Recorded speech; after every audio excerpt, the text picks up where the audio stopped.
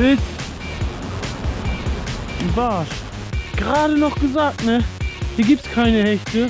Hätte schon längst einer beißen müssen. Und da brutzelt er schon, der wunderbare Wiekenhecht.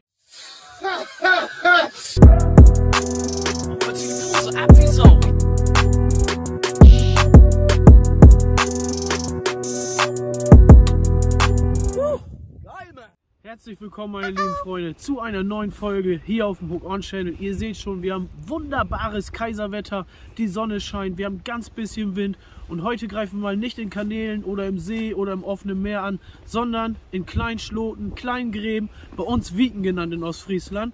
Wir haben es auf Hechte abgesehen und das wollen wir natürlich wieder mit Blech vollziehen. Ich werde den goldenen Ondex in Größe 5 fischen, JJ den silbernen Ondex in Größe 5 und ihr seht schon hier hinter uns, wir haben wunderschönes Gewässer vor uns. Wir haben hier eine Tiefe von circa ja, so 60 cm bis 1 Meter. Sehr schön Pflanzenbewuchs, sehr viele Seerosen, die jetzt langsam zurückgehen. Das heißt, die Hechte haben wieder etwas mehr Sicht und wir hoffen, dass wir den einen oder anderen Esox heute erwischen. Viel Spaß im Video, los geht's!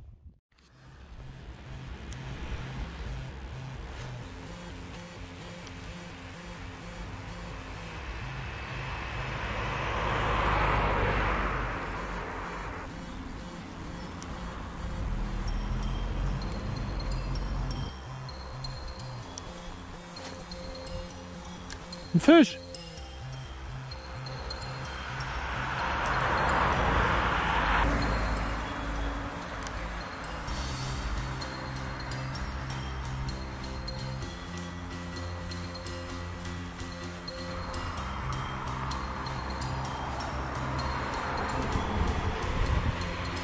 Oh, hier ist einer ausgeschwommen.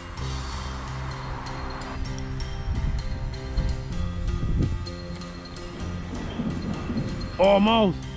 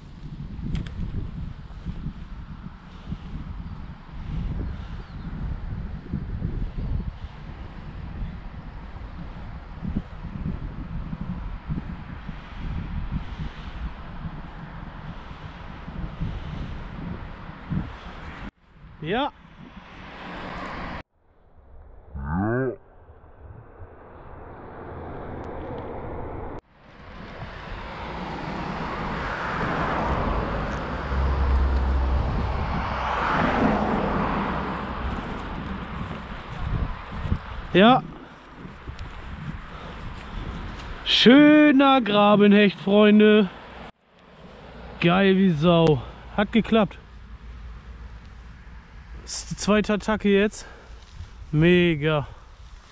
Kein, kein Riese, aber ein schöner Wiekenhecht.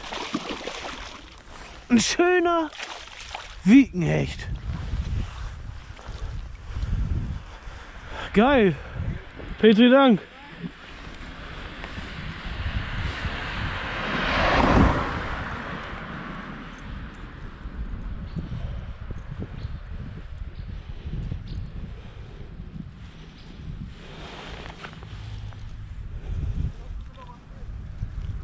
Ja.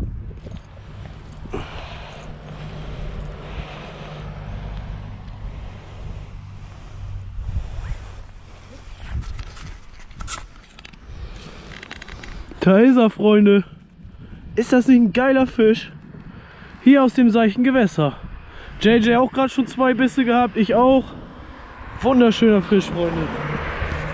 Mega Fisch, Leute, mega. Geil, noch ein bisschen zu klein, aber vielleicht kriegen wir auch noch einen, den wir essen können.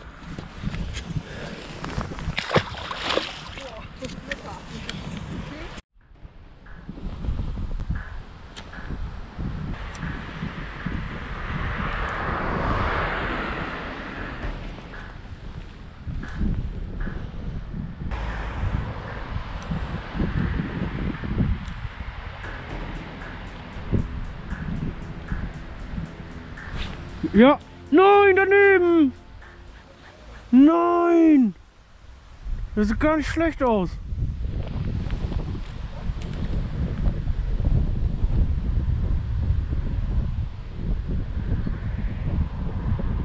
Scheiße, den habe ich verpasst. Der war gar nicht schlecht.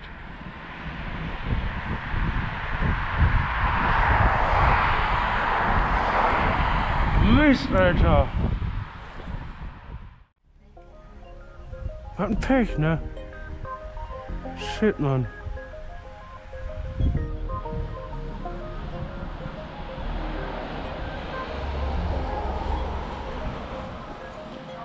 Nein, Alter.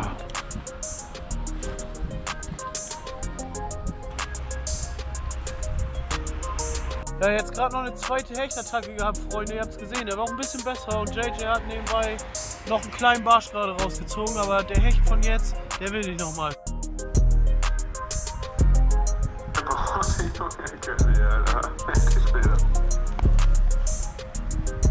Mist.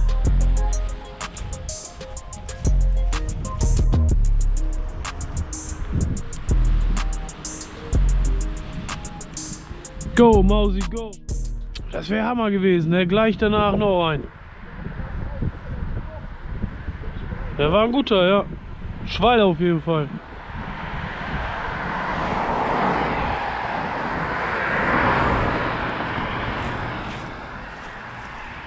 Mann. Hä? Ja.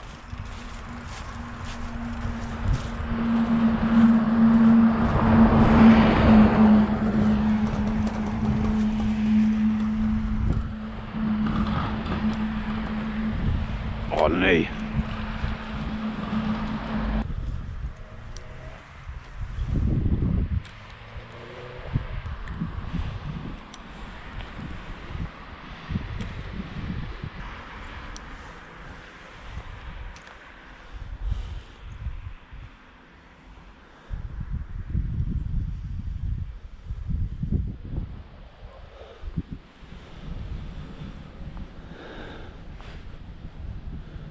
Wieder Biss gehabt? Ich wusste, dass da einer ist, ne?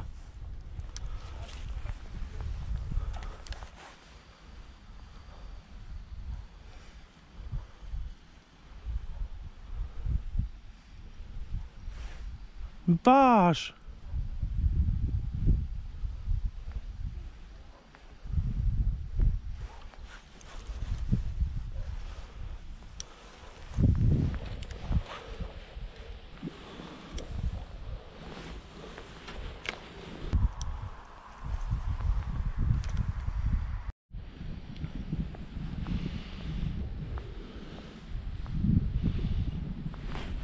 Nein! Wieder einen fetten! Mann, der ist zu klein, Mann, der Scheißspinner!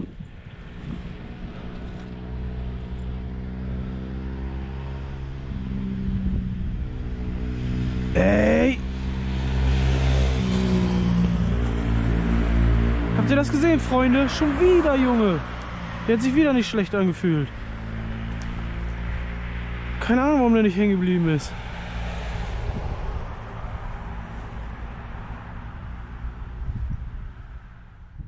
Was Pech. Ich hoffe, man hat es wieder gesehen. Schon wieder eine eingestiegen, schon wieder etwas besser. Und schon wieder auch wieder ausgestiegen. Ja, geil. Macht auf jeden Fall mega Laune hier in den kleinen Wiegen mit den Spinnern an der Oberfläche ein bisschen zu fischen. Und ich bin gespannt, was wir noch erreichen können, weil das war jetzt in kürzester Zeit einige Hechte. Bloß sind nicht alle rausgekommen. Da Biber die Route. Und, oh! Das wäre Riese hier, wa? Los, hak dich.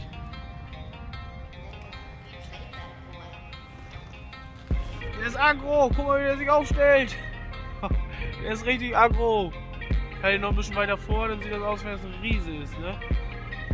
Boah, was ein Marsch.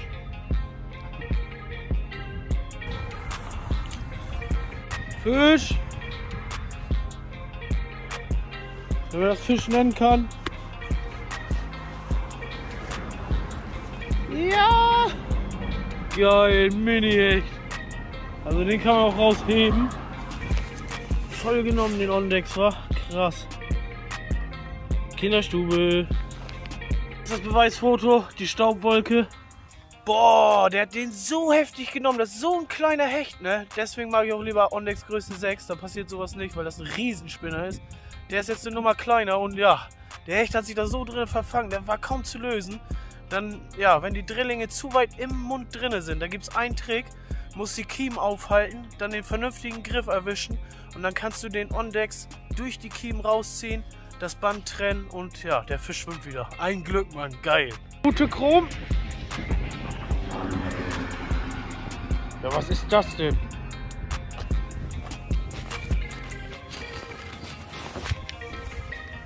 Wieder so ein aggressiver kleiner Barsch. Nice. Süßer kleiner Bursche. Mega. ja, Kleinfisch kriegen wir ohne Ende. Aber ob da auch noch unser Mittagessen bei ist, das müssen wir noch rausfinden. Was geht ab, my man? Lecky. doing there, bro? Can you tell me where the pikes are? Jetzt macht ihr euren Schlot leer, Freunde. Ich sag euch das, wie das ist. Oh. Der ist krank, Mann. Guck mal, wie klein und bullig. Richtig schöner Barsch. Auch wieder alles an der Oberfläche, Freunde. Eine richtig schöne Wieke.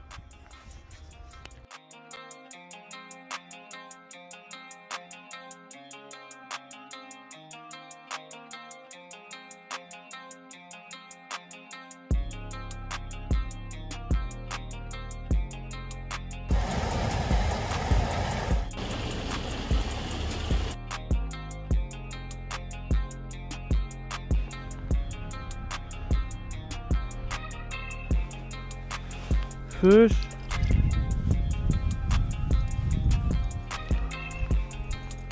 Hau ein!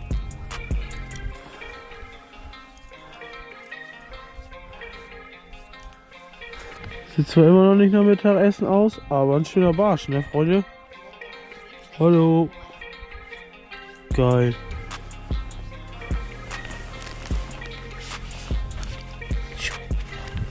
Yeah!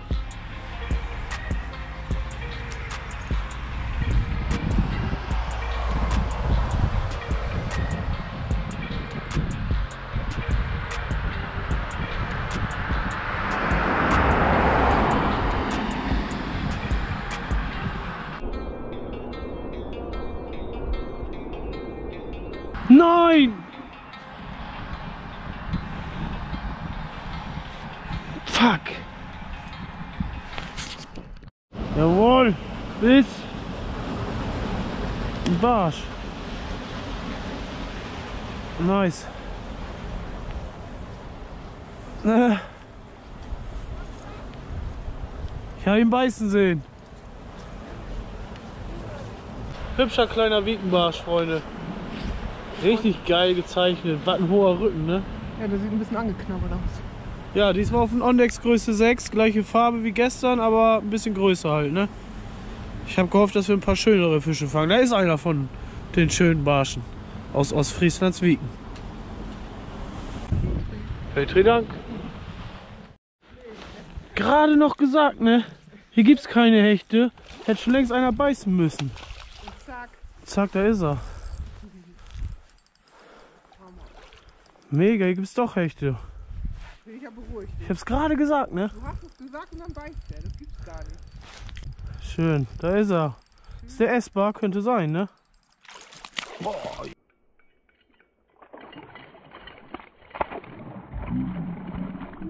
Ja. 45, ne? Ja. Ein bisschen sauber machen. Machen wir mal Kescher. Hier in der harten Strömung.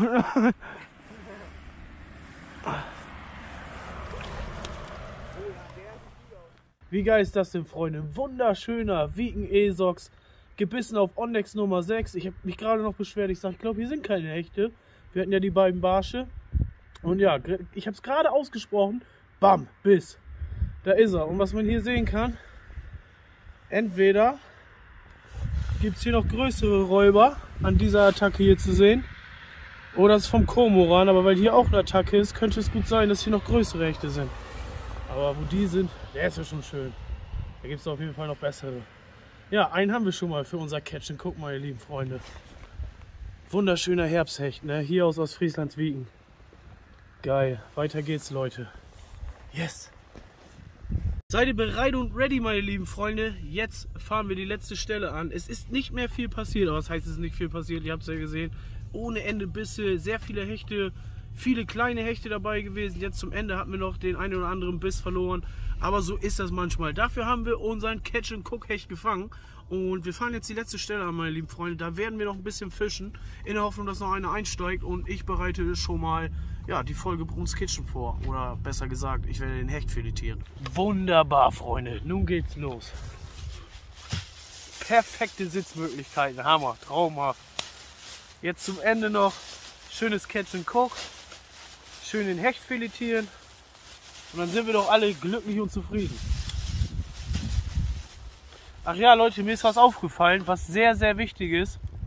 Und zwar, die meisten Leute haben ja von euch abonniert, ein ganz großer Teil hat auch noch nicht abonniert. An die Leute tut das, abonniert, um nichts mehr zu verpassen. Und damit ihr eine Benachrichtigung kriegt, Freunde, wann immer ich ein Video hochlade, dafür müsst ihr neben Abonnieren die Glocke einmal drücken, dann kriegt ihr so zwei Häkchen an der Seite. Dann wisst ihr, dass ihr Benachrichtigung kriegt, sobald ein Video von mir hochgeladen ist. Ganz wichtig, einmal unter Abonnieren, die Glocke drücken, dass da zwei Häkchen an der Seite sind. Sieht dann aus wie ein Wecker und ja, dann bekommt ihr die Benachrichtigung.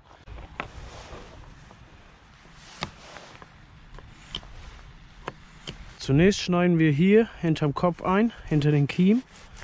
Dann gehen wir runter, bis wir die Mittelgräte merken. Und dann gehen wir an der Mittelgräte entlang und ziehen uns schön das Rückenstück hier runter. Das ist dann schon mal komplett grätenfrei. Zack. Hechtstück Nummer 1.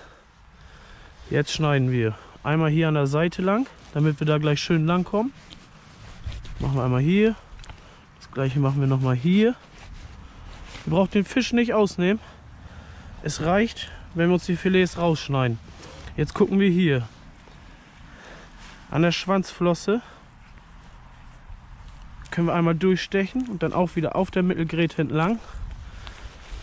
Und dann geht es hier auf der Mittelgräte weiter. Seht ihr das? Scharfes Messer ist wichtig für ein bisschen Feingefühl. Dann hat er gleich nur noch die Y-Gräten drin. Die können wir dann auch noch mit dem Messer raus. Und hier sehen wir schon die Rippen. Da muss man dann ganz fein lang schneiden. Seht ihr das? Gar nicht drücken, ihr müsst das Messer arbeiten lassen, das ist sehr wichtig.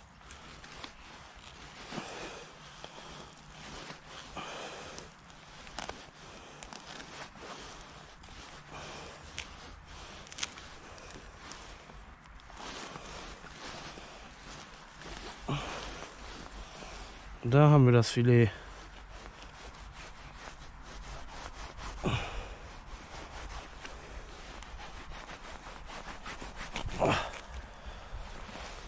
Ein wunderschönes Hechtfilet. Guckt euch das an. Geil. Hechtfilet Nummer 2. Nun drehen wir den Hecht einmal um, dass wir gut arbeiten können.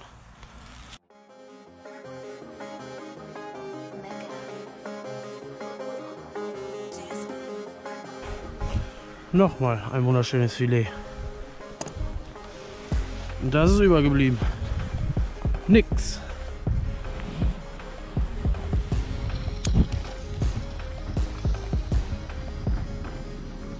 Nice.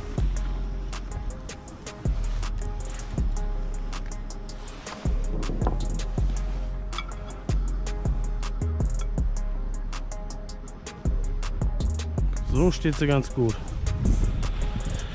So, meine lieben Freunde, was haben wir hier überhaupt? Fisch und Meeresfrüchte. Ja. Ein bisschen was vorher drauf. Man riecht auf jeden Fall auch Dill raus. Mega. Passt immer gut zu Fisch, ne? Und da brutzelt er schon, der wunderbare Wiekenhecht. Das war auf jeden Fall schon wieder traumhaft schönes Angeln, meine lieben Freunde. Wir haben einige Hechte gesehen, viel Topwater-Action, alles wieder auf einen schönen Spinner. Und soll ich was sagen? Demnächst werden wir mal was anderes ausprobieren. Vielleicht mal einen Wobbler, vielleicht mal ein Stickbait. Aber irgendwas anderes, um die Hechte rauszukitzeln. Es gibt so viel mehr Ködervariationen, die Hechte fangen. Aber nun wird erstmal ein bisschen Hecht schnabuliert, meine Lieben. So halb unzufrieden war Mausi. Ja, scheiße. Ganzen Tag angestrengt und jetzt ganz zum Schluss. Und ich wusste es, dass hier noch einer kommt. Sie auch. Und es kommt tatsächlich einer. Und wir verlieren ihn. Aber soll ich dir was sagen? Gewinner sind wir trotzdem. Wir haben die Zuschauer in unseren Herzen und wir haben auch einen Hecht gefangen und können ihn gleich schnabulieren. Oh, what the fuck? Wiegen Hecht? Gar nicht mal so schlecht. Voll zart und schmeckt auch gar nicht modrig. Ich hätte gedacht, der wäre voll modrig. Aber nee, Mann. Oh, wir haben ja noch einen ganzen Batzen vor uns, ne? Ja, gut gegessen haben wir jetzt, meine lieben Freunde. Ist noch einiges da zu vernichten. Es war ein wunderschöner Tag, ein wunderschönes Video. Wir haben viele Fische gesehen, auch einen davon gegessen. Wenn euch das Video gefallen hat, Leute, dann lasst uns gerne wissen. Mit dem Daumen nach oben, aktiviert die Glocke, um nichts mehr zu verpassen. Wir haben euch lieb. Dicken Knutschi. Bis dann. Ciao. Sie sind ja elf Freunde, die sich prima verstehen. Geil, Mit Mann. Hurra, ob sie weinen oder lachen. Es Geil. ist ehrlich, was immer sie machen. Ob am Boden oder Maus. oben. Und bam, Alter. bessere Mannschaft gab es nie. Geil, Freunde. Also, ist egal. Bis, bis, Freunde. Endlich was. Denn sie sind ja. Ja, da ist er. Hurra! Ja. Sie fallen Na, Bursche. trennen. Yeah, Mann. Ja. Nein. Eine bessere Mannschaft gab